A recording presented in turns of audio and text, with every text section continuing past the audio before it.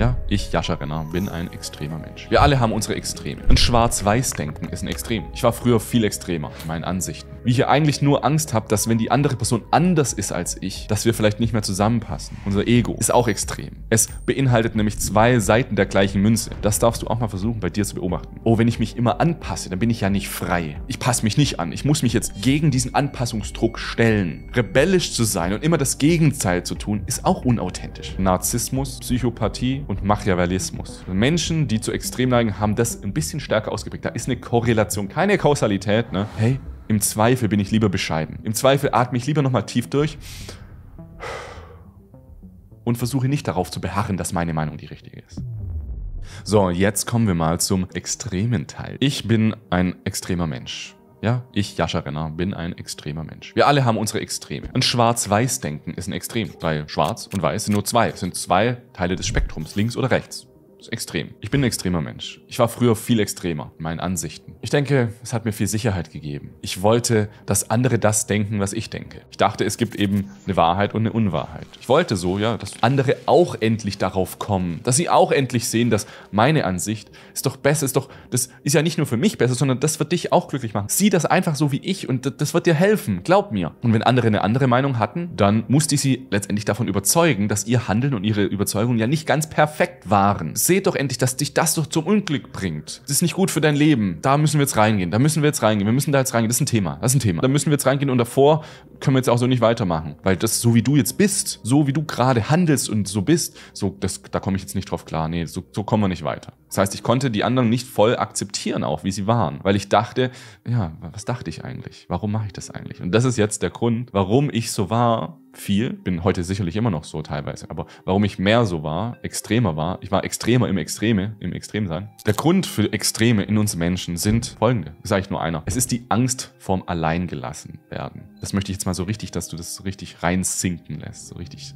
rein. Wenn du unbedingt möchtest, dass andere Menschen sich verändern, wenn du möchtest, dass andere Menschen aufmerksam werden auf etwas, so guck doch mal da und es ist doch hier, dann hast du Angst vorm Alleingelassen werden. Und es ist so schön, das zu wissen, weil ich kann das bei mir jetzt auch immer mehr erkennen. Wie ich hier eigentlich nur Angst habe, dass wenn die andere Person anders ist als ich, dass wir vielleicht nicht mehr zusammenpassen. Dass die Person vielleicht, weil sie anders ist, irgendwann mich auch nicht mehr mag oder mich ausstoßen will. Oder, was ich bei mir auch wahrgenommen habe, vielleicht nochmal, ich, ich bin auch ein sehr rebellischer Mensch. Und früher war ich extrem rebellisch. Und das sehe ich bei vielen Menschen, diese extreme Rebellität. Ist das ein Wort? Rebellion vielleicht, ja. Unsere Ego-Abwehrschicht, unser Ego, ist auch extrem. Es beinhaltet nämlich zwei Seiten der gleichen Münze. Unser Ego beinhaltet extreme Anpassung und extreme Anpassungsopposition. Das darfst du auch mal versuchen, bei dir zu beobachten.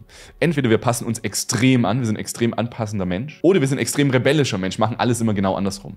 Aber beides ist nicht authentisch, beides kommt vom Ego. Es sind beides gleiche Münze. Und indem du dich jetzt eben nämlich dagegen stellst, was eben oft bei Menschen ist, sie merken, oh, wenn ich mich immer anpasse, dann bin ich ja nicht frei. Und da habe ich so ein paar Spezialisten auch in meinem Freundeskreis, die sind aber wirklich extrem so.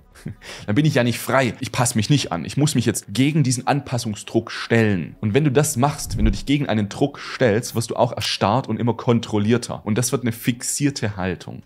Rebellisch zu sein und immer das Gegenteil zu tun, ist auch unauthentisch. Zu einem Teil. Ne? Also die Balance, die Authentizität liegt immer irgendwo in der Mitte, liegt immer zwischen schwarz und weiß. Zwischen extrem angepasst oder extrem rebellisch. Ich finde es wichtig, auch hier zu wissen, dass Extreme extrem ungesund sind. Extreme, nee, Extreme sind eben nie authentisch. Wenn du irgendwo extrem bist und da gab es auch eine interessante Studie, die ich ähm, in einem Buch von Jamie Will gelesen habe, dass Menschen, die zu Extremen neigen, eine stärkere Ausprägung der dunklen Triade haben. Also Narzissmus, Psychopathie und Machiavellismus. Ich weiß nicht, ob ich das richtig ausspreche. Machiavellismus. Also Menschen, die zu Extrem neigen, haben das ein bisschen stärker ausgeprägt. Da ist eine Korrelation, keine Kausalität. Ne? Du kannst es auch nicht haben. Aber das ist nochmal ganz wichtig zu wissen, dass Extreme tendenziell ungesund sind, dich tendenziell innerlich stören. Und deswegen finde ich es auch wichtig, wenn du diese Extreme in dir erkennst, dann versuch mal zu rauszufinden, versuch rauszufinden, wann bücke ich mich, wann erlaube ich mir mal Bescheidenheit. Das hat mir extrem geholfen. Zu wissen, hey, im Zweifel bin ich lieber bescheiden. Im Zweifel lasse ich lieber los. Im Zweifel atme ich lieber nochmal tief durch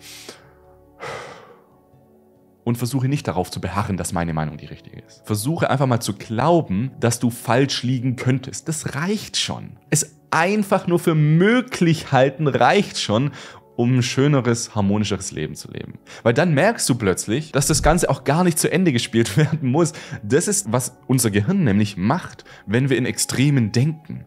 Irgendwie kreieren wir damit in uns ein Bestreben, dass wir alles zu Ende führen müssen. Dass wenn wir jetzt in ein Gespräch gehen, wenn wir jetzt andere Menschen analysieren und merken, das ist nicht perfekt, was die machen oder das ist nicht gut, das schadet mir auch, was die andere Person macht, wir müssen das jetzt zu Ende bringen, wir müssen das jetzt komplett durchsprechen. Wir müssen jetzt, boah, das muss bis zum letzten Bit durchprogrammiert reingesprochen werden. Aber sobald wir uns erlauben, bescheiden zu sein, sobald wir uns erlauben, einfach glauben zu können, es für möglich halten, dass wir vielleicht nicht 100% richtig liegen, dann merken wir schon ganz automatisch, hey, wir müssen das gar nicht zu Ende spielen, um ein harmonisches, schönes, verbundenes, glückliches Leben zu leben.